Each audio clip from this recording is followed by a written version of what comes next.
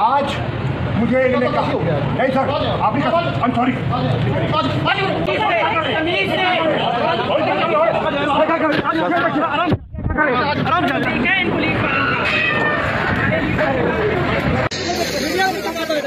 कानूनी कर रहे हैं शाह साहब का सामान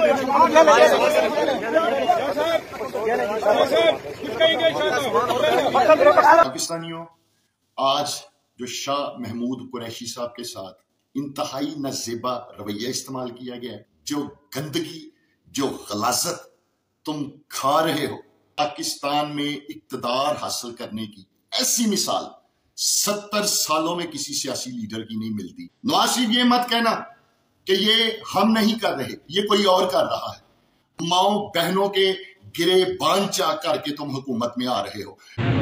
बिसमीम अस्सलाम नाजरीन, शाह महमूद कुरैशी, जो कि सीनियर और बुज़ुर्ग सियासतदान हैं साइफर केस में यूँ ही सुप्रीम कोर्ट ने इनकी ज़मानत मंजूर की। उसके फ़ौर बाद three M P O order के तहत पंजाब पुलिस इनको गिरफ़्तार करने के लिए सुप्रीम कोर्ट पहुँच गई और फिर पंजाब पुलिस ने एक सत्तर साल बुज़ुर्ग सियासतदान को जिस तरह गिरफ़्तार किया और उनके साथ जिस तरह का बर्ताव किया, आए पहले आप वीडियो देखें, फिर इस पर तफसील से बात करते हैं। जज साहब ने रोप कार पर दस्तखत किए। रोप कार में दस्तखत के बाद मुझे इन्होंने गिरफ़्तार कर लिया।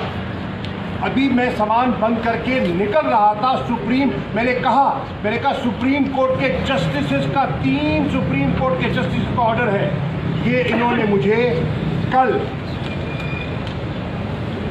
जज ने रोपकार पे साइन किया मेरी रिहाई का दो बज के पैंतीस मिनट पे उसी वक्त इन्होंने मेरे गिरफ्तारी के तीन एनपीओ के तहत इन्होंने मेरे गिरफ्तारी के ऑर्डर इशू कर दिए। और फिर मुझे इन्होंने गिरफ़्तार करके नज़र बंद कर दिया। मैंने कबूल कर लिया और मैंने अपना अपने सेल में वापस चला गया। आज मुझे इन्होंने कहा नहीं सर आपने कहा आई एम सॉरी ये देखिए ये देखिए ये क्या है ये देखिए ये देखिए ये क्या कर रहे हैं क्या है क्या है ये क्या कर रहे हैं? ये क्या कर रहे हैं? आराम आराम क्या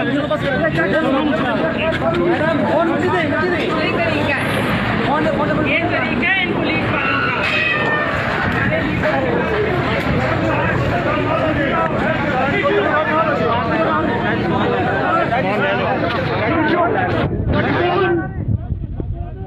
man.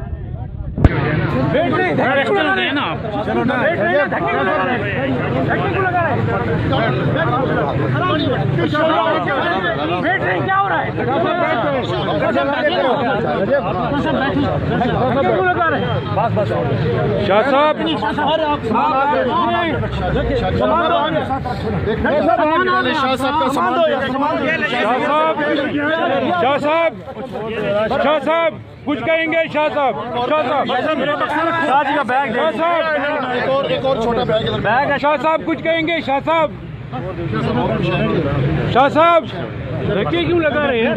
शाह साहब कुछ कहेंगे? सुप्रीम कोर्ट के ऑर्डर का मज़ाक किया गया। सुप्रीम कोर्ट ने रिहा किया और ये मुझे दोबारा गिरफ़्तार कर रहे हैं। झूठे मुकदमे में मैंने कौम की तर्जुमानी की है। मैं बेगुनाह हूँ और ये मुझसे बिला वजह इंतकामी सियासी इंतकाम का निशाना बनाया जा रहा है।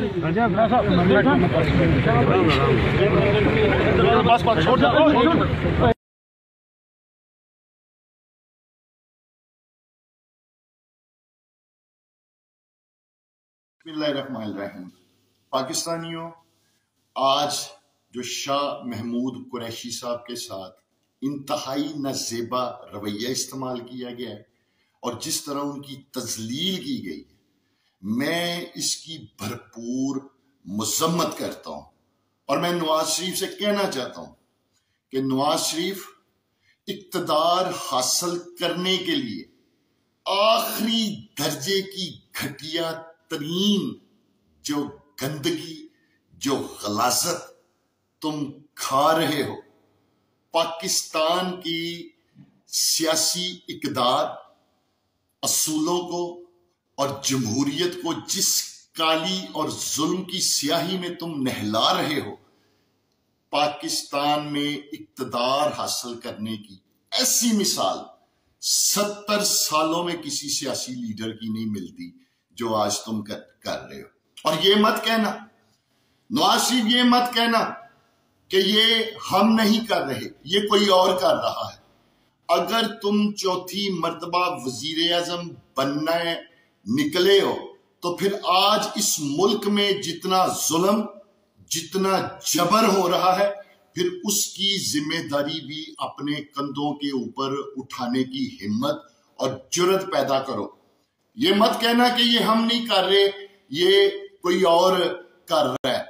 और दूसरा मैं ये भी अर्ज़ करूँ, नवाज़ शरीफ, तुम और तुम्हारी जमात इमरान खान को और हम लोगों को ये ताने देते थे कि हुकूमत बनाने के लिए जहाजों में बिठा बिठा के लोगों को इकट्ठा किया गया।